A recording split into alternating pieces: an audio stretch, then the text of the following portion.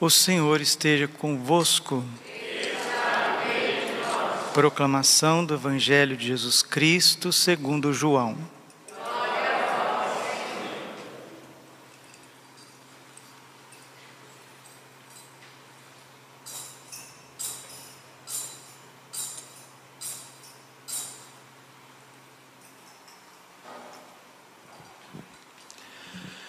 No primeiro dia da semana, Maria Madalena saiu correndo e foi encontrar Simão Pedro e o outro discípulo, aquele que Jesus amava. E lhes disse: Tiraram o Senhor do túmulo e não sabemos onde o colocaram. Saíram então Pedro e o outro discípulo e foram ao túmulo. Os dois corriam juntos, mas o outro discípulo correu mais depressa que Pedro e chegou primeiro ao túmulo. Olhando para dentro, viu as faixas de linho no chão, mas não entrou. Chegou também Simão Pedro, que vinha correndo atrás, entrou no túmulo. Viu as faixas de linho deitadas no chão e o pano que tinha estado sobre a cabeça de Jesus, não posto com as faixas, mas enrolado num lugar à parte. Então entrou também o outro discípulo, que tinha chegado primeiro ao túmulo ele viu e acreditou. Palavra da salvação. Ave Maria, cheia de graça, o Senhor é convosco. Bendita sois vós entre as mulheres. Bendito é o fruto do vosso ventre, Jesus. Santa Maria, Mãe de Deus, rogai por nós, pecadores, agora e na hora de nossa morte. Amém. Vinde Espírito Santo, vinde por meio da poderosa intercessão, Imaculado Coração de Maria, vossa amadíssima esposa. Podemos sentar um pouquinho. Jesus manso e humilde de coração. 27 de dezembro, a igreja celebra a festa de São João Apóstolo e Evangelista. Celebrar São João é celebrar o desígnio de Deus para um padre, para um sacerdote. Quando Jesus quis deixar o seu sacerdócio aos apóstolos, à igreja, a cada um de nós, o seu pensamento, o seu desejo, o seu querer é que os padres fossem como São João Evangelista. Como que é São João? O nome dele já diz: Deus dá a graça. Ninguém é perfeito. Só Deus é perfeito, só Deus é santo e só Deus concede a graça de ser como Ele. Ninguém pode dizer, eu vou ser como Deus. É a mesma coisa de querer voar sem asas. É a mesma coisa de querer ficar em pé em cima dos ombros. É uma missão impossível. Eu vou ser como Deus. Não. Deus nos criou imagem e semelhança dele mas o pecado nos tirou a semelhança de Deus. A imagem continua. Os demônios no inferno e os réprobos no inferno, eles conservam a imagem de Deus. São criaturas livres, dotadas de inteligência, de vontade, de memória, de consciência. Mas a semelhança, o pecado tirou tudo. O pecado tira a semelhança com Deus principalmente o pecado do orgulho, que é a raiz de todos os males. Tobias capítulo 4, versículo 13. Não permita que o orgulho tome conta do teu espírito, porque ele é a raiz de todos os males. Satanás se encheu de orgulho, Eva se encheu de orgulho, passou esse orgulho para Adão e depois para toda a sua descendência. Satanás foi passando este orgulho esse ego inflamado, cheio de si mesmo para os outros anjos, e uma terça parte dos anjos se rebelaram contra Deus. Na sua infinita bondade e humildade misericordiosa, Deus desceu da sua majestade e se encarnou no seio puríssimo da Santíssima Virgem Maria. O Verbo se fez carne, se fez gente, se fez uma criança, e o Verbo eterno é sacerdote. Jesus é sumo e eterno sacerdote. E o maior bem Jesus comunicou aos seus sacerdotes. que é o seu poder sacerdotal. E é esse poder sacerdotal de Jesus, exercido na sua vida pública, sobretudo no mistério da cruz e na noite em que ia ser entregue, onde ele tomou o pão em suas santas, benditas e adoráveis mãos e transformou o pão no seu corpo, transformou o vinho no seu sangue. O sacrifício do Calvário foi antecipado na Santa Ceia, no cenáculo, e ali estavam os sacerdotes, e ali estava o discípulo amado, aquele que Jesus amava com predileção. Mas quais são as qualidades de São João para que Jesus pudesse amá-lo? Lembrando que tudo que São João tem de bom foi Deus que deu, mas ele soube cultivar e ele soube multiplicar. É isso que é bonito numa alma que ama, ela conserva e multiplica. Caritas Christi urget-nos, nos diz São Paulo na segunda carta aos Coríntios, capítulo 5, versículo 14. O amor de Cristo nos impele, o amor de Cristo nos constrange, nos leva a multiplicar os nossos dons em favor do próximo. São João fez isso de forma maravilhosa.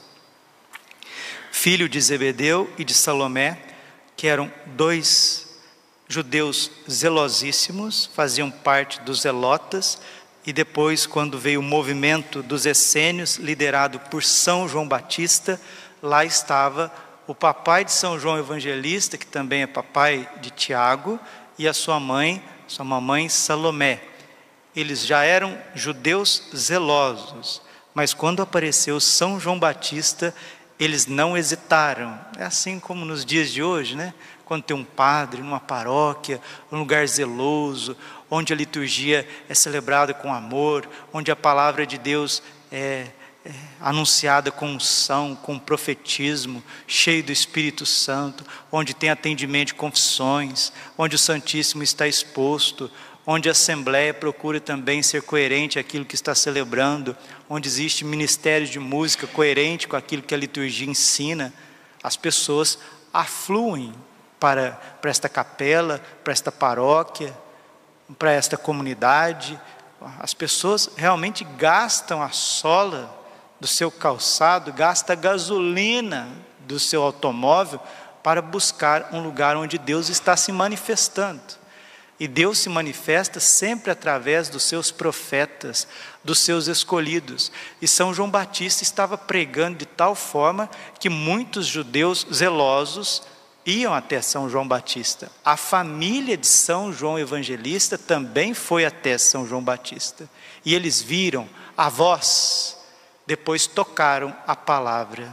A palavra que nós tocamos, nós vimos, nós ouvimos, é ela que nós anunciamos.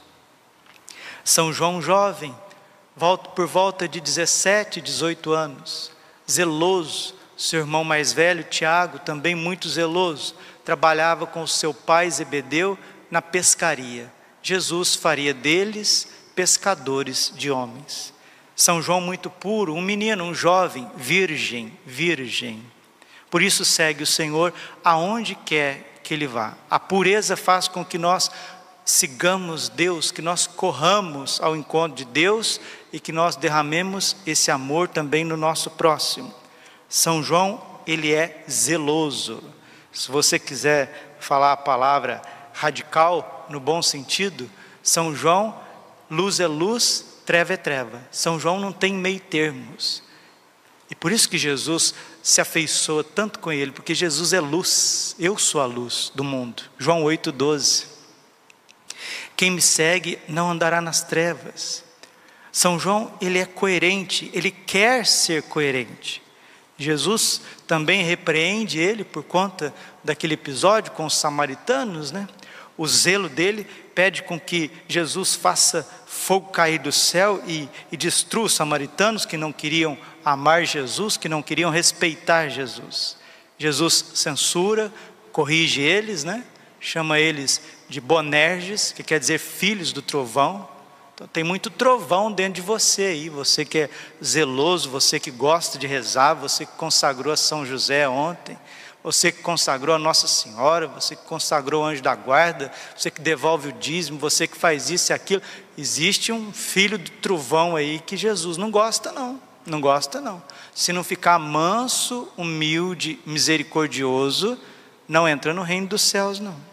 E São João foi repreendido por Jesus, foi corrigido, foi educado, foi formado, e São João foi reclinando cada vez mais no coração de Jesus. Quando o Senhor foi ressuscitar, é, ali ah, aquela menina que tinha falecido, São João estava junto. Quando Jesus foi para o Tabor, São João estava junto. Quando Jesus foi ali na sua agonia tremenda, São João estava junto. E quando todos os apóstolos saíram correndo por medo da perseguição, São João estava de pé. Por que, que São João seguiu Jesus e foi o único que seguiu Jesus até o pé da cruz? Por quê? Porque São João era extremamente filho de Nossa Senhora ele era escravo de Nossa Senhora, ele era apaixonado, ele amava Nossa Senhora com todas as suas forças, com as suas entranhas, ele respeitava a Santíssima Virgem e tinha ela também como mãe e senhora. Este foi o segredo de São João e até o fim. E ele consolou Nossa Senhora junto com Santa Maria Madalena, que também fez uma transformação tremenda de vida, né? E aqui no Evangelho hoje, João 22, no primeiro dia da semana, domingo, Maria Madalena saiu correndo e foi encontrar Simão Pedro, o Papa, e o outro discípulo, São João, aquele que Jesus amava. E lhes disse: Tiraram o Senhor do túmulo e não sabemos onde o colocaram. Saíram então Pedro e outro discípulo, São João, e foram ao túmulo. Os dois corriam juntos mas o outro discípulo, São João, correu mais depressa que Pedro e chegou primeiro ao túmulo. Por que, que São João correu mais depressa? Ah, padre, é porque ele era mais jovem. Sim, mas não só porque era mais jovem, porque era cheio de amor. Santo Agostinho, comentando esse evangelho, diz que aquele que ama não anda, nem mesmo corre, mas voa ao encontro do amado. E por que, que ele parou? esperou Pedro chegar e deixou Pedro entrar na frente? Porque ele respeitava Simão Pedro como papa, como príncipe dos apóstolos. A hierarquia apostólica já existe desde da ressurreição, desde a cruz, desde Cesaré de Filipe, os apóstolos já entendiam que o primeiro deles, o chefe, a cabeça do colégio apostólico, era Simão Pedro, e depois que ele faleceu, 266 papas de forma ininterrupta. Esta é a Igreja Católica. E nós precisamos crer naquilo que Jesus deixou para nós. São João vai até a cruz, porque na ceia ele estava reclinado no peito de Jesus. Ele adorou o Santíssimo Sacramento. Ele escutou as palpitações do peito de Jesus. Ficou junto com Nossa Senhora. Ele viu certinho quando o soldado Malco abriu o peito de Jesus, e ele mesmo que diz, de forma muito técnica no seu evangelho, João 19, 34, imediatamente jorrou sangue e água. Talvez aquele sangue e água que jorrou do peito de Jesus pode ter jorrado no seu rosto, no seu coração, junto com Nossa Senhora. Nossa Senhora beijou os pés ensanguentados de Jesus. São João tocou no corpo ensanguentado de Jesus. São João ajudou a limpar o corpo de, de Jesus. E ele escutou dos lábios de Jesus, João 19, 27, mulher, eis aí o teu filho, filho, eis aí a tua mãe. Daquele momento em diante, São João levou Nossa Senhora para a sua casa. Ele é o apóstolo do Sagrado Coração Eucarístico de Jesus, por isso também ele é o apóstolo do coração imaculado de Maria vai escrever o evangelho mais profundo, três cartas e o Apocalipse, que é o desfecho da história e da igreja. Foi o último apóstolo a morrer, morreu, morreu com mais de 100 anos de idade. Foi exilado na ilha de Pátimos e lá fez uma experiência mística com Jesus, onde Jesus mostrou para ele a igreja descendo do céu, a renovação do mundo, Apocalipse capítulo 21, versículo 5: Eis que faço nova todas as coisas. O único apóstolo que não morreu pela espada, que não foi martirizado, morreu de morte natural. Porque o Senhor preservou do martírio e deu a glória dos santos Hoje ele está celebrando essa missa conosco. Acredite se você quiser, nós estamos aqui com uma relíquia de primeiro grau de São João Evangelista. O osso de São João Evangelista. O osso. É a riqueza da igreja. Essa relíquia veio da Itália, né, de um amigo nosso, e São João veio celebrar conosco. Ele que está celebrando, ele é sacerdote, ele é padre, ele é bispo, né? ele é cardeal, ele é íntimo do Papa, ele é o braço direito de São Pedro. Como que nós precisamos de cardeais como São João? Homens místicos que ajudam o Papa, que respeitam o Papa, que intercedem pelo Papa.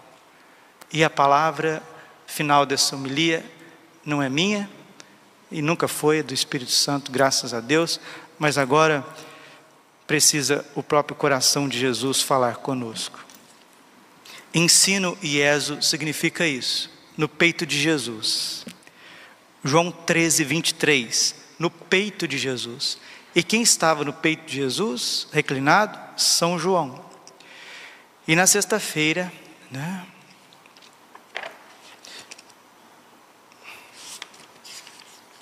Nós temos aqui a festa de São João Evangelista, terça-feira, melhor dizendo, 27 de dezembro de 2011, o coração de Jesus fala de São João e fala aquilo que ele quer de nós. O próprio Sagrado Coração de Jesus falando conosco. Tudo que tu pedistes a mim, eu darei a ti. Jesus falando aos sacerdotes, mas todos os leigos do mundo inteiro. E se você prestar atenção nessas palavras, se você ouvir o que o coração de Jesus está falando com você, você vai mudando de vida a tua história muda, o teu coração muda, as tuas atitudes mudam. O orgulho morre, e no lugar do orgulho o Senhor coloca a sua santa humildade, e a humildade dá o seu primeiro fruto, que é a paciência, a mansidão, a pureza do corpo e da alma, a alegria constante, o zelo.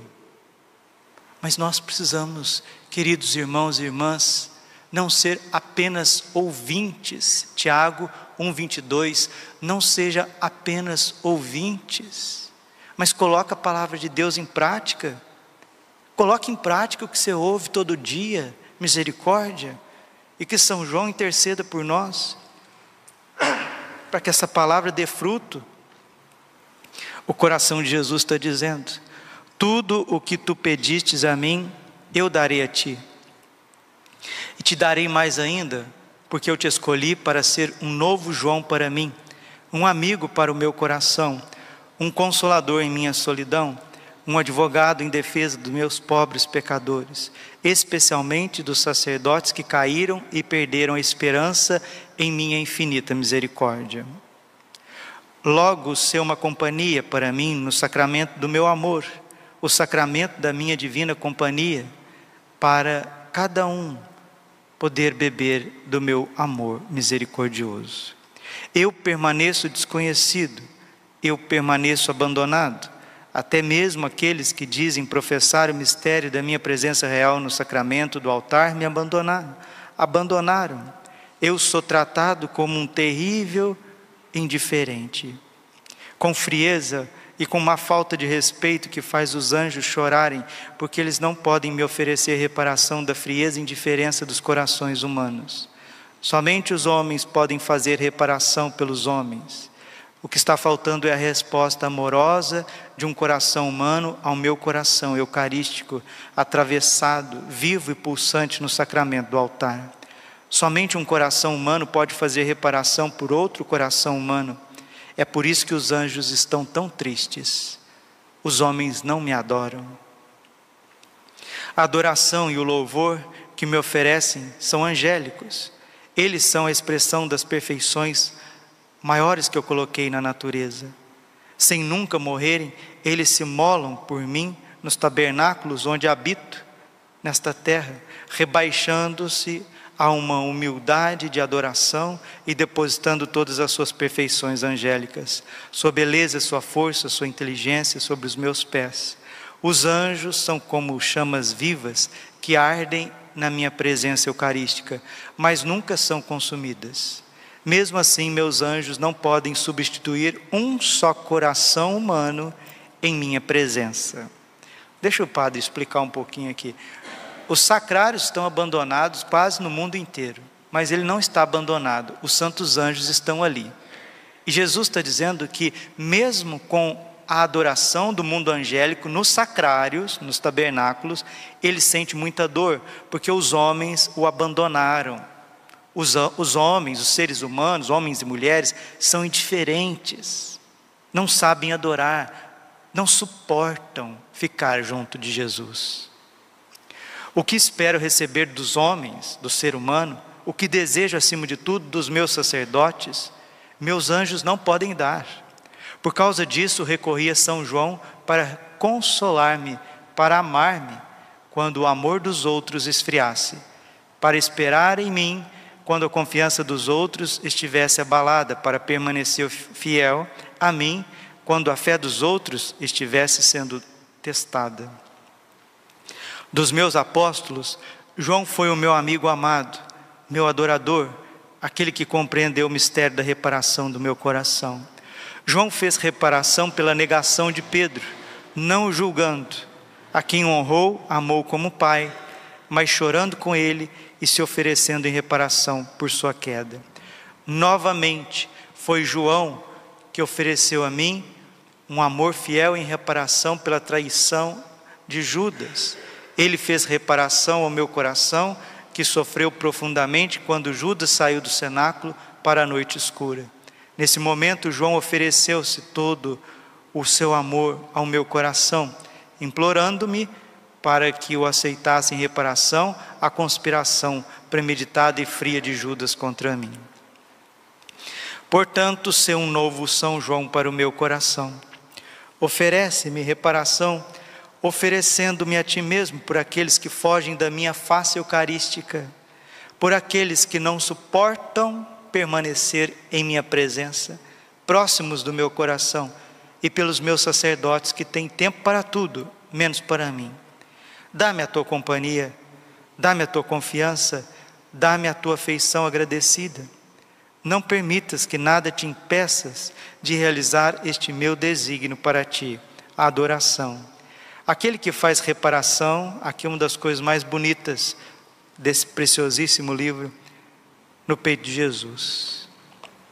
Vou ler e vocês prestem bastante atenção. Aquele que faz reparação pelos meus sacerdotes, descobrirá no último dia que seus próprios pecados, embora sejam muitos, terão sido cobertos dos olhos do Pai por um único ato de reparação, porque a reparação é um exercício de amor, e o amor cobre até mesmo uma multidão de pecados. Jesus está falando que aqueles que fazem Passio Domini, vigília eucarística, hora santa, intercedem pelos padres. No dia do juízo, você vai ter uma multidão de pecados perdoados porque nada repara tanto os teus pecados como rezar pelos padres. As palavras não são minhas, são de Jesus. O problema é que as pessoas não rezam pelos padres. As pessoas querem oração do padre, querem as tripas do padre, e quando ele dá um tropeçãozinho de nada, são os primeiros a colocar os dez dedos na frente nunca que rezam pelos padres. Não rezam, não rezam. Porque, sabe por que, que não rezam? Porque não amam, não amam os padres. Sabe por que, que não amam os padres? Porque não amam Jesus, mas estão dentro da igreja. Se dizem católicos, se dizem cristãos, se dizem carismáticos, se dizem de movimento, se dizem místicos, se dizem marianos. Está muito longe do amor? É muito longe muito longe, muito longe. Ama-me e tu cumprirás tudo aquilo que estou pedindo a ti. Ama-me e eu cumprirei tudo o que pede de mim. eu desejo a companhia das almas joaninas, sacerdotes adoradores e reparadores, e derramarei sobre eles rios de graça para a renovação do meu sacerdócio e para a alegria da minha esposa, a igreja. Então, que Deus nos dê essa graça na festa de São João. Qual graça, Padre? A humildade de receber o amor de Cristo, de conservá-lo e de multiplicá-lo. As pessoas orgulhosas são impacientes, julgadoras, impuras no corpo e na alma, tristes, tristes e querem sempre receber. Quando os humildes abrem o coração para Deus, como São João abriu, o amor de Deus deixa a alma cada vez mais humilde, mansa, paciente, pura, inocente, cheia de alegria, cheia de zelo e de intercessão pela humanidade. Esse foi o coração de Jesus. Por isso que Jesus amou tanto o coração de São João porque ele viu-se em São João. E é o que ele quer fazer com todos os padres e com cada um de nós. Busquemos na igreja não só os benefícios dos sacramentos, busquemos também ser reparadores, busquemos também ser pessoas que, que compreendem a fraqueza do outro e que se imola pelo outro, como fizeram os santos. Glória ao Pai, ao Filho, ao Espírito Santo, como era no princípio, agora e sempre. Coração imaculado de Maria, confiança, saúde e vitória.